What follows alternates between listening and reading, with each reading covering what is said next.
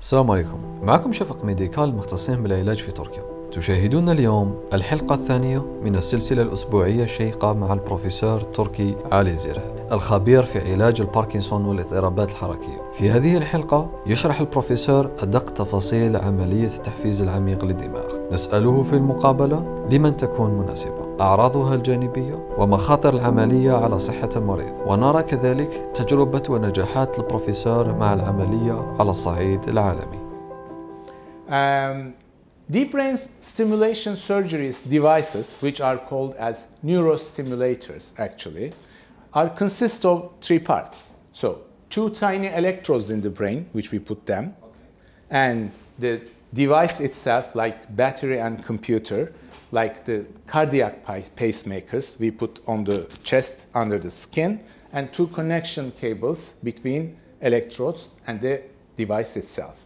So um, with that technology, we can deliver electricity in the brain, which is called as neuromodulation. And its importance is it's controllable, adjustable, and changeable.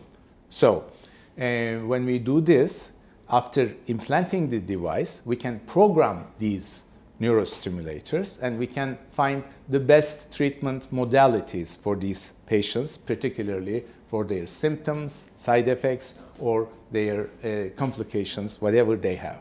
So, uh, even when we do the surgery, after that, it's totally correctable, controllable, adjustable technology. We can modify the electrical stimulus amplitude, frequency, and pulse width. And then we can fix it for the best treatment results for the patient. So after the surgery, we program the devices, patients, uh, they come from outside clinics, like outpatients, and every single morning we see them, we adjust their medications and also the, their electricity parameters.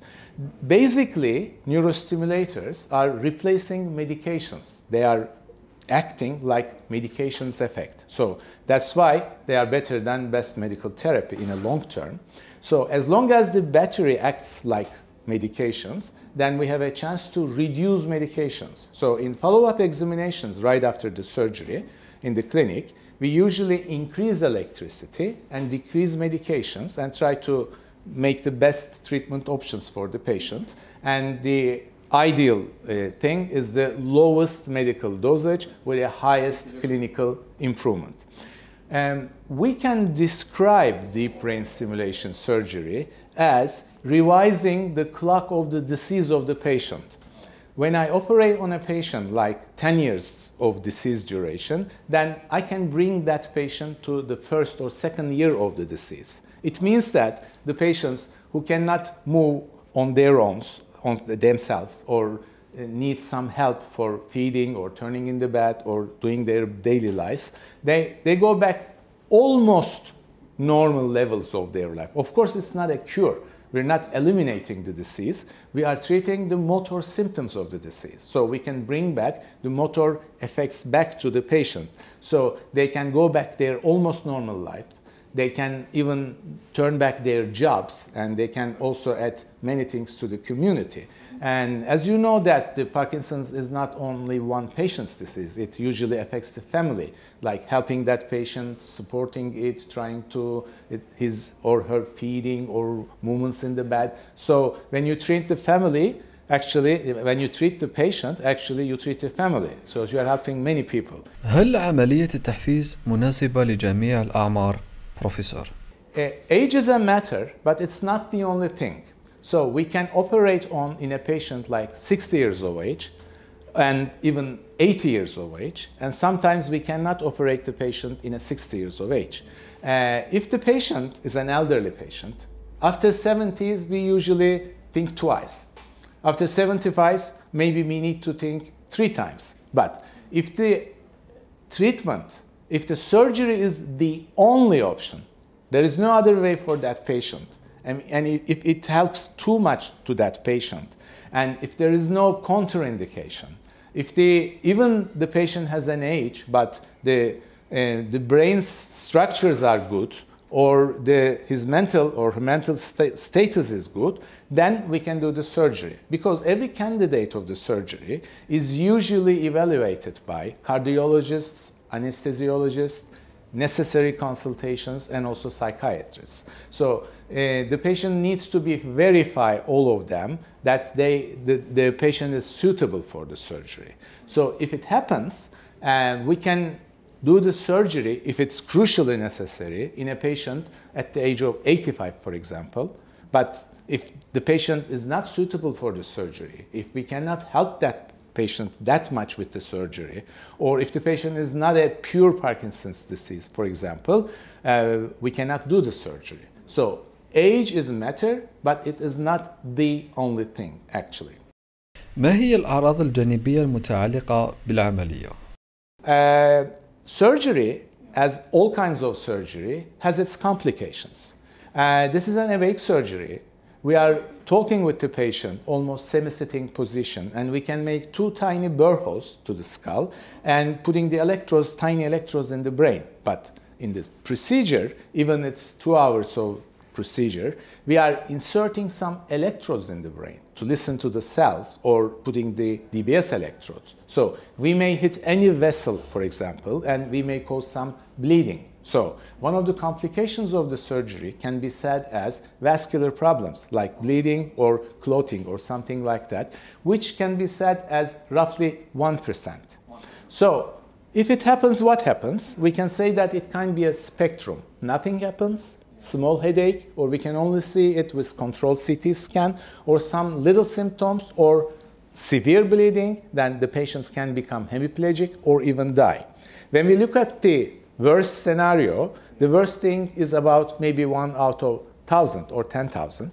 Actually, I have operated on more than 1,300 cases, and I haven't seen any single case except just one small bleeding. So uh, it is very rare, I would say, in experienced hands, of course. Every, you know, institutions, especially if they are teaching institutions, uh, there are some learning curves and higher risks and complications rates. But uh, in experienced hands, I think the, these risks are quite low. The other risk could be the infection. It happens in every single case, like tonsillectomy, appendectomy, whatever. And we would say that it's 1%. Uh, if the infection happens, then it needs to be treated with antibiotics, and mostly it could be done. But since there is an implant in the brain or around the body, then uh, the infection may not be treated with antibiotics, and very rarely the removal might be necessary. Uh, if you look at these rates in, in many clinics, around 5%, but as I would say, uh, in experienced hands, uh, it could be diminished very, very low levels if possible. Uh, we actually uh, don't see such kind of complications, luckily.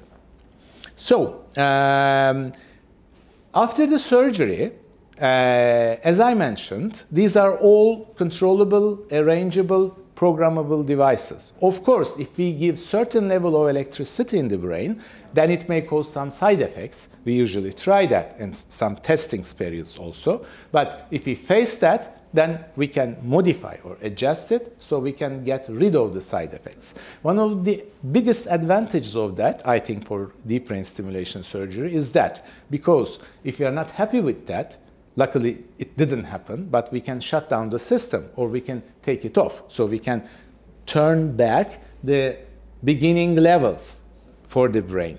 In, we used to do some lesioning surgeries like radiofrequency like laser-like treatment. But whatever we do, even with the sharpest arrangements and calculations, you know, in that technique, you are sending a bullet. You're not taking it back. DBS, you can modify the electricity and you can reverse it or you can close it down.